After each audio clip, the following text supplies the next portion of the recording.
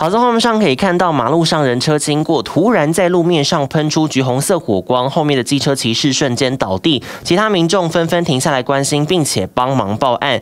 过没多久，救护车跟消防车都来了，骑士的机车还倒在路上，人已经被抬上担架送往医院治疗。一块喷飞的人孔盖就在旁边。